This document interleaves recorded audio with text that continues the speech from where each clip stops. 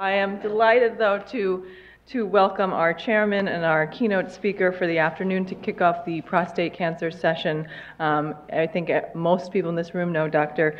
Uh, Ash Tewari, and he's the chairman of our department here at the, the Department of Urology at Icahn School of Medicine. He's a world-renowned urologist and prostate cancer specialist. Um, as the director of our department, he leads a multidisciplinary team committed to improving prostate cancer treatment research, and education. He's performed over 5,000 robotic radical prostatectomy surgeries, and his lab is working on critical genomic um, discoveries that we'll hear about today. Um, in 2012, he was awarded the American Urologic Association's Gold Cystoscope Award, an honor that's given to only the top urologists in the country and it is a great honor to have him talk with us today about genomics and prostate cancer. Thank you, Dr. Tewari.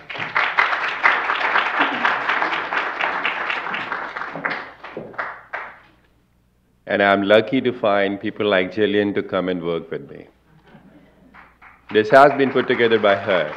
She and the team members need an applause because in the background they have been working long hours putting it all together. And Thank you all for uh, uh, being here on this beautiful Saturday.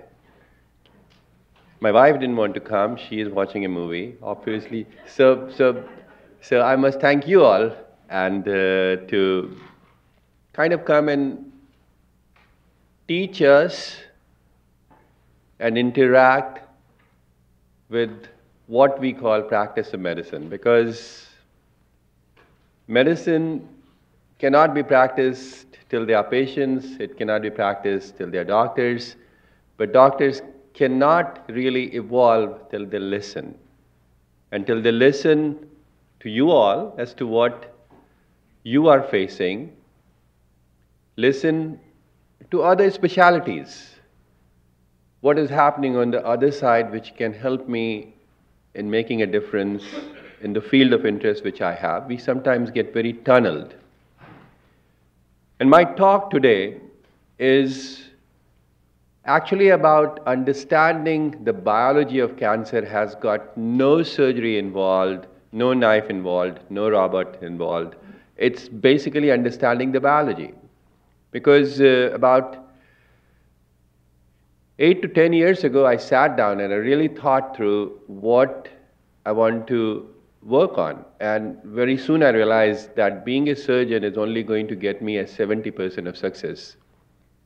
30% of success was going to come by understanding why cancer is happening. And I really wanted to be known to be a prostate cancer doctor, not a prostate cancer surgeon. Because if I understand a little bit about other things which converge onto the same patient, I possibly can give a better care. So of late I have been saying that uh, I'm the quarterback of the care for my patients with prostate cancer. Many of them need a treatment. Many of them don't need a treatment. Many of them need more than one kind of an approach in handling it. But having a bigger picture and understanding about the biology is very critical in my mind. So my talk today may become a little bit more deep, but it's okay. It's okay to understand and go into the depth of this concept because today's day and age, I can truly say prostate cancer is a disease of genes. 20% of the cancers, 20% of the prostate cancer may happen because of the genes we inherited from our parents. But 80% of the prostate cancer are happening because what happens to the genes we inherited and ultimately turn our normal good cells into cancer cells. Because cancer cells are our own cells. These are the cells who just forgot how to be respectful to the neighbors. They just don't want to stand in a line for a food. They will jump and eat the, all the food out so that the normal good guys are standing in the line saying, oh, What happened? And the good guys don't get the nourishment, and the cancer cells keep growing. up to a point that they fill up the whole space and mechanically crush the good guys because good guys are still very respectful. That cell evolved from us in our own body and evolved in response to something it was facing on a day to day basis. Even a very cute dog, if we irritate it for a long time, becomes very feisty. Same way, if inflammation kicks in, if we keep giving chemicals to our body, if we keep getting radiation, if mechanically some part of the body is getting irritated all the time, cells first go through a process of death. Some of them figure out how not to die. And these are the ones who figure out not to die to that whatever insult they are facing. They ultimately become very resilient and resilient to a point that they become cancerous. So this is the journey of that cell we are talking today. I want you to kind of go dive deep inside the prostate. So you are seeing the bladder and the prostate here. You go inside the prostate, there are multiple cells arranged as glands. And one cell fills up the gland and becomes an early cancer, and we call it Gleason 6 prostate cancer. When it starts invading into the neighboring glandular structures, we call it Gleason 7 or 8 or a 9 prostate cancer. But then some of them figure out how to get into the ducts, how to get into the highways. And that is when they become more aggressive prostate cancers. They go into the nerves and nearby. They can find a blood vessel and go anywhere in the body. And that is what we call a more aggressive or advanced prostate cancer. So cancer has many journeys. Early on, most can be tackled. The key word for the cancer is the best treatment for prostate cancer, best treatment for any cancer, is to find it early, make sure it is a bad kind, and then intervene. Then the second step is you find them a little late, but still you can cure them, but at some cost. And the third one is that you're dealing with a more aggressive kind, which has really outsmarted our body's own defense mechanism. So simplified version of prostate cancer is that if you look at tigers, these are the Gleason 6 prostate cancers. They're cute, they look scary, but they're not bad. and about 50% of the prostate cancers which we deal today are actually Gleason 6. But then there are some which are bigger. But if you look a little bit closely, they don't even have fangs. These are Gleason 7, what we call Gleason 7 3 plus 4 prostate cancers. Only thing we have to make sure that we don't feed them enough that they start growing the teeth, but they are not that bad, but they look scary and we have to watch out for them. But then there are Gleason 8s and 9s and 10s. And these are the aggressive prostate cancer. Every hour, we lose four people to prostate cancer. And the irony is that in this confusion about PSA and its accuracy or inaccuracy or supersensitiveness, we have tended to minimize prostate cancer because that is not right. PSA is a good test. It becomes a better test if we know how to use it. But minimization of PSA shouldn't lead to minimizing the prostate cancer because we are still losing 28,000 men every year. That's a big number. These 28,000 looks like a small dot in the US census, but every one of them is a real person. So, in order to not ignore these 28,000 men, we have to get more surgical in terms of precision. And that is what the theme which I am following today.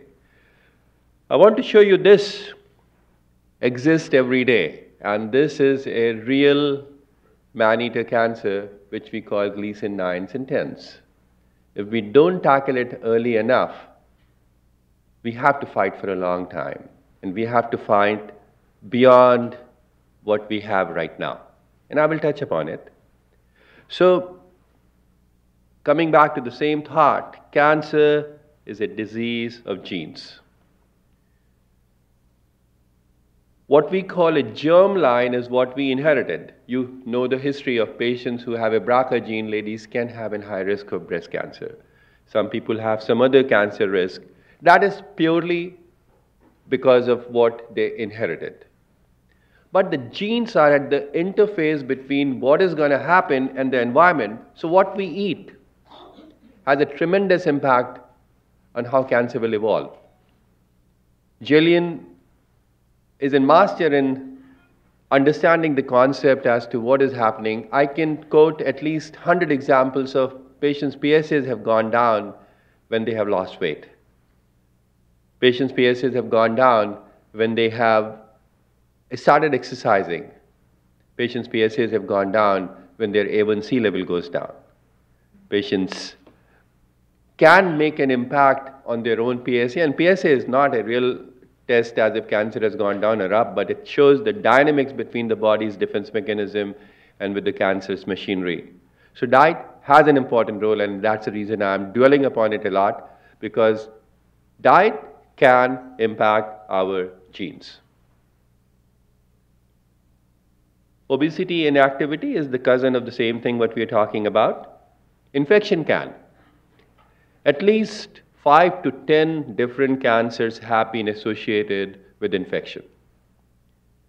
We know the pap smears, we know the papillomaviruses, we know the herpes zoster viruses, we know Burkitt's lymphoma, we know even the gastric cancer. It took an Australian surgeon to take a broth of an infected fluid and swallow it show that he got the ulcer and resulted in almost like an early cancer. And then everyone started believing, and he got a Nobel Prize for that, that uh, infection was the reason why people were having ulcers, and then that resulted in having a cancer. Schistosomiasis is a disease which happens in Egypt a lot. It's an infection of some kind, can result in cancer. So infections, if not managed appropriately, can cause cancer. It doesn't need to be a bacteria. It can be some small viruses, but infection is a known cause for developing cancer. We must focus nowadays on inflammation. So every insult in the body ultimately results in body's own defense mechanism, and that's inflammation. It's the same inflammation when a piece of dust goes in our eye and we rub it, it becomes red. That is the body's mechanism of bringing in more cells to that area so that they can fight and do things. But if that inflammation stays there for not one day, not two days, one month, six months, that inflammation is known as a chronic inflammation and that inflammation becomes cancer. So, managing inflammation, whether it is happening because of infection, whether it's happening because of a foreign body, because it's happening because of alcohol, whether it is happening because of some kind of a mechanical trauma, people who have a sharp tooth keep rubbing on one area of uh, mouth. Later on, they develop cancer there. So, tobacco will do the same thing. Some kind of cellular injury will do the same thing, but inflammation, if not managed appropriately, will lead to cancer. Even inflammation in a neighboring structure.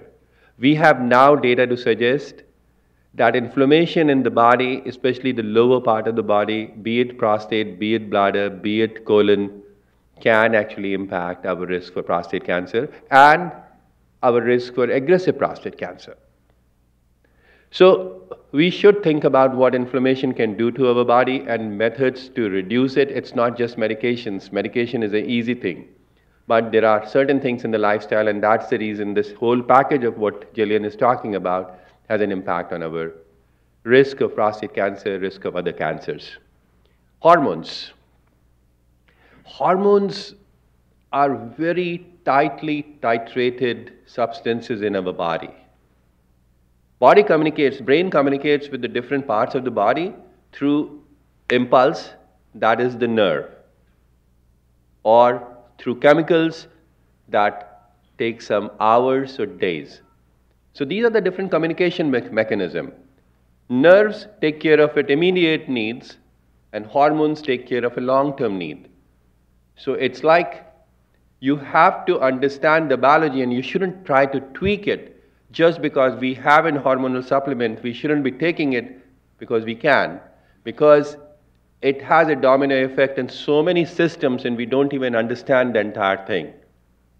Yeah, I was listening to the discussions about free versus bound. What is happening to the hormones? Sometimes hormones definitely, and, and, and every lady understands the breast cancer risk and uh, um, uh, hormones. Premenopausal, postmenopausal. Same thing is, prostate cancer has a relationship with an androgen receptor, and androgen is a hormone. So hormones can cause genetic changes, and those genetic changes can result in developing prostate cancer. Then chemicals, we all know about the asbestos and many other chemicals. I often get patients coming who 20 year, 30 year ago had an exposure to the Agent Orange. I get patients from um, first responders. That's all chemical. Somehow that got exposed. There are chemicals we are aware about, and there are chemicals we don't even know what they are doing because we have a limited bandwidth into understanding what is doing what. But bottom line is chemicals can cause cancer and chemicals can cause prostate cancer. And then finally, radiation. We know radiation in a high doses or a low doses is a risk factor for developing cancers. So, so far what I have established for you to understand cancer is an evolution of our own cells which are behaving badly they are irritated, they are annoyed, they are not sure what's going on, and it's happening 80% because of what we get exposed to, but they ultimately drive or operate through the genes. So, what are the genes? We, we hear a lot about the genomics revolution and the precision medicine, and Obama, uh, President Obama came up with uh, multi-million grant proposals for uh, doing something on the precision. So I will simplify as I understand what the genomic journey is. I can stop any time, answer questions if you have, but I'll take go on this space and it may go on a little longer for you to kind of get a full width as to what's going on with the prostate cancer. Think about you, for me, I moved from India to here. I got two instruction booklets, one from my father and one from my mother. Father told me something about work ethics, mother told me something about how to cook and all those things. These are the two booklets which we got. Think about the same instruction manual we got from each one of us, from our mothers and fathers. Now think about that each one of those books has 23 chapters. Those 23 chapters are arranged about something. One talks about how to do the cooking, other how to keep your room clean, and third one how to exercise. All the instructions that parents give us or we give to our kids. Each one of those 23 chapter is actually your chromosome. Think about it. They have concised the information about our life journey into 23 chapters, and each one of those chapters is a chromosome. And each one of these chapters had different paragraph, one talking about one part and the second talking about the second part. Each one of those paragraphs is actually a gene. And the alphabet used in that is the DNA. So we have 46 chromosomes. 23 came from father side, 23 came from the mother side. Each one of them is a chromosome, 23, and chromosomes have different parts of message encrypted inside, and that is known as gene. And that is the gene which we call gets abnormal when it is getting exposed to different chemicals, infection, irritation, radiation, and all kind of things. And these are the different chromosomes when we study under the microscope. And when you expand it, this is all coded with what we call DNA. I will not get into the mystery of DNAs, but can I ask anyone has a feeling as to if I just take one of your DNA and unfold it, how long will it be? Amount of DNA which any one of you have at this point in our body, if I unfold it, how long will it be? Any guesses? Mile? 100 miles? Hmm? 100,000 miles. Really? You can. It is enough for us to go from here to moon and come back and do that 300 times. That's correct. So, that's the amount of DNA we have, just me, you, everyone in this room. And that DNA is packed by folding it very well. So someone spent a lot of time folding them very properly so that it is filled up in this body. So that folding is known as epigenetics.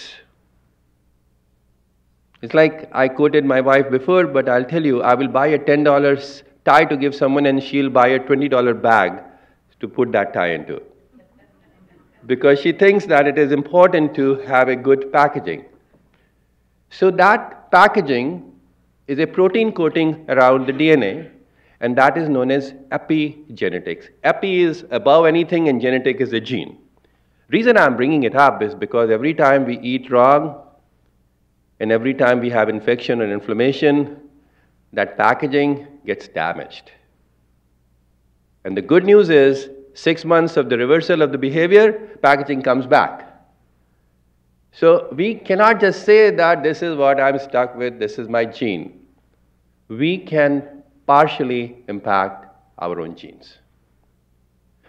That is what this genomic history shows like. So this is the chromosome, you can see, and this is all folded within an epigenetic uh, component.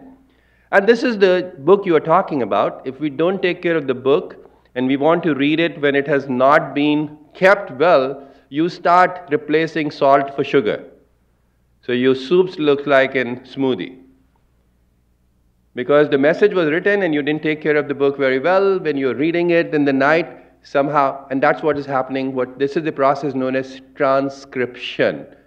Reading the message and doing what is supposed to be done, and that is done by a gentleman known as RNA. DNA was the messenger who was carrying all this message, this book. The reader is RNA, and it finally produces something which is known as protein, and that protein is what we are made up of. Bone is a protein, heart is a protein, neuron is a protein, muscle is a protein, red cells are a protein. So those proteins are created by a message from the book. If we don't read it right, either the reader is wrong or you can see here, can you see that some, some of them, they are missing alphabets like a typewriter? Or they are sometimes even jammed up like this, the old typewriters. So that process of reading the message may have a mistake.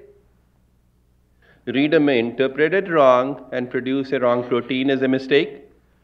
So this is what the genetic changes happen and that is where the cancers come.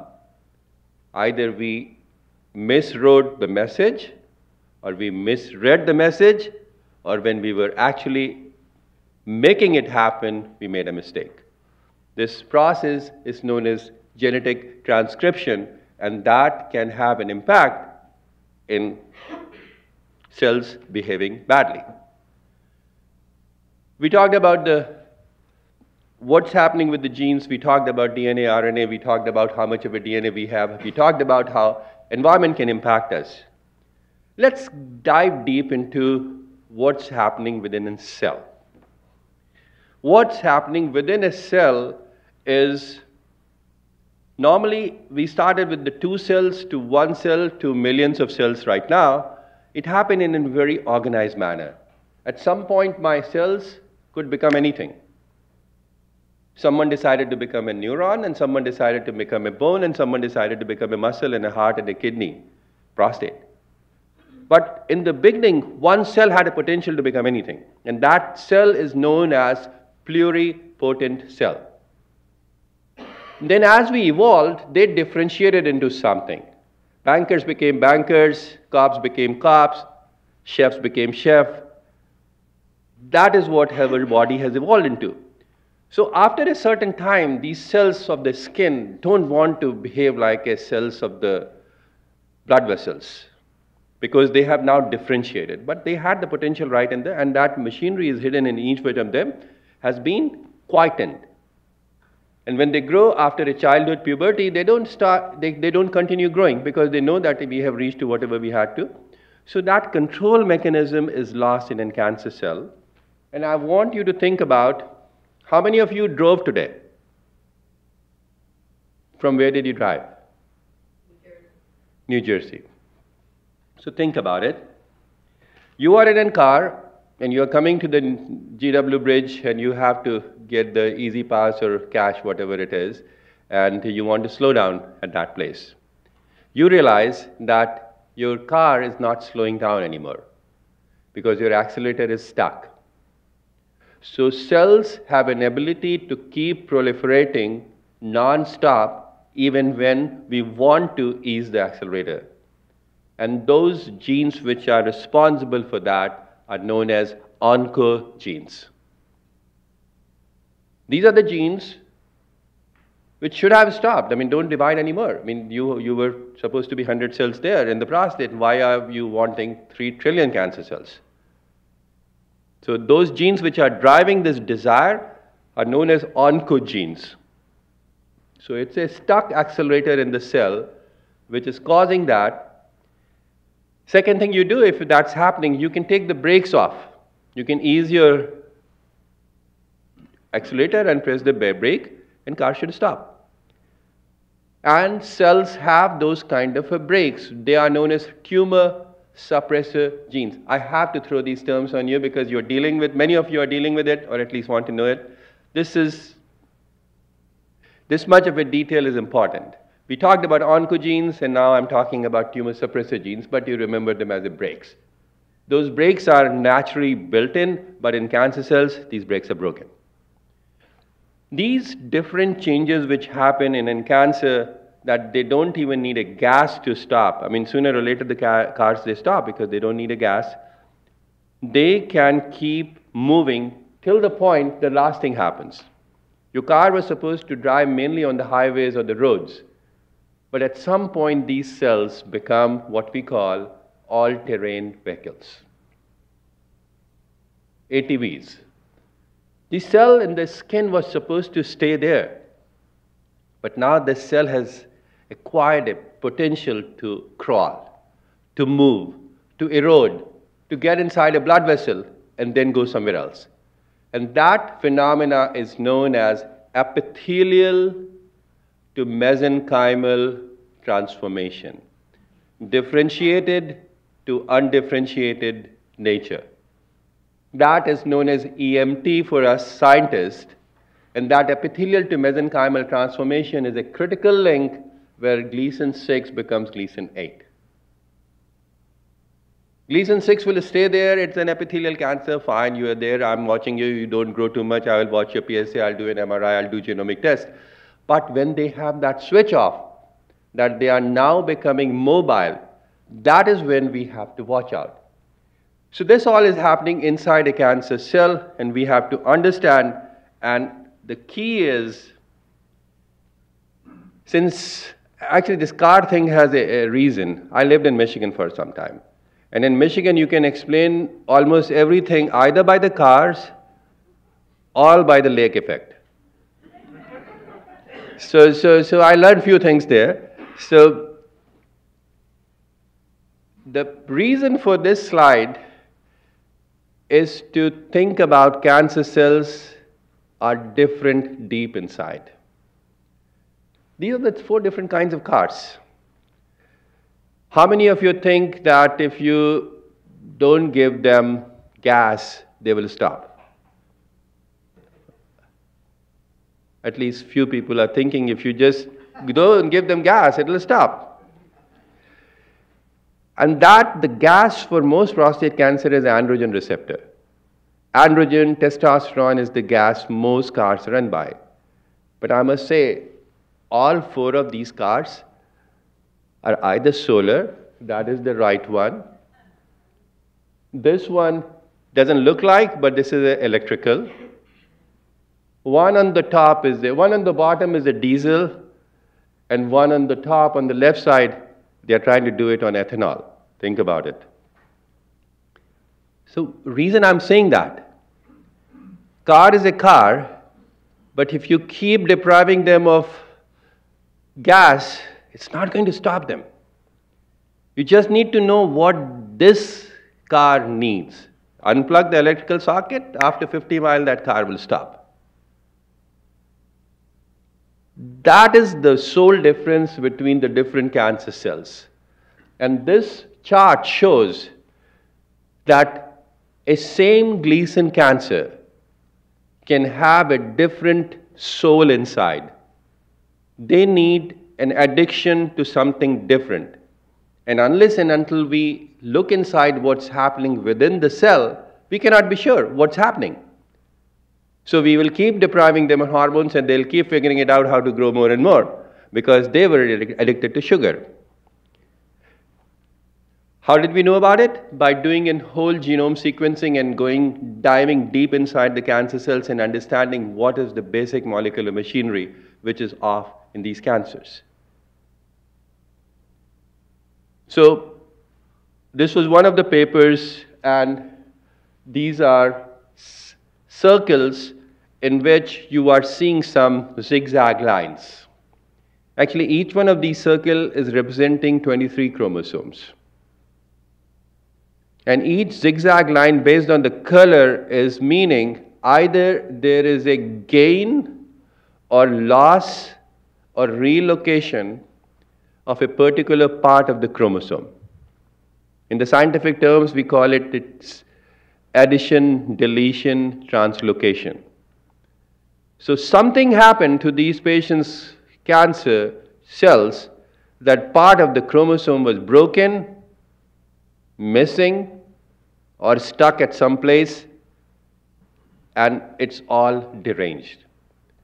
I want you to focus on this and this. These are two same Gleason cancer.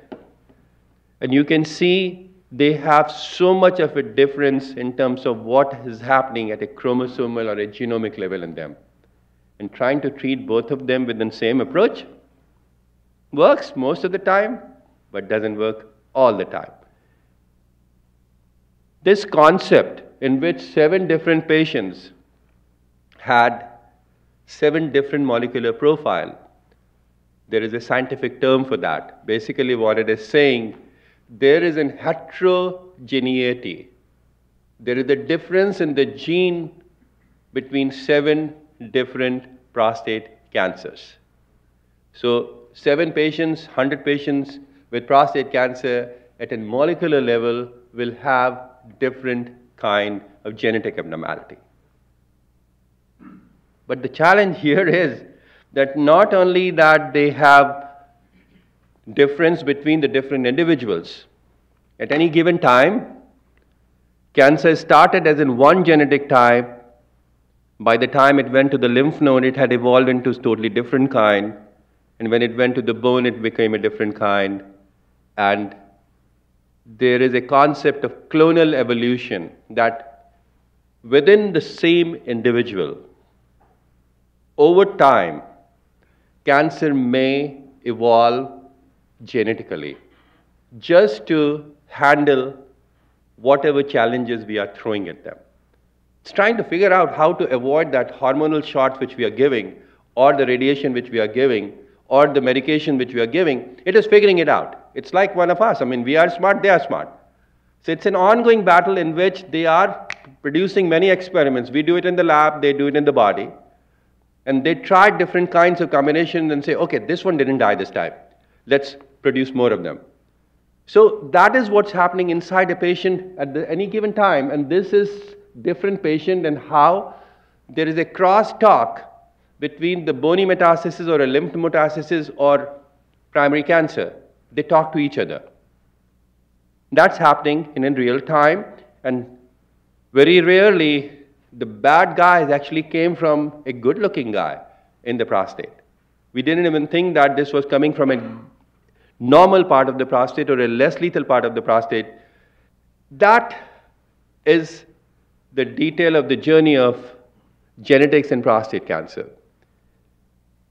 I can go on for hours. I actually have 30 more slides.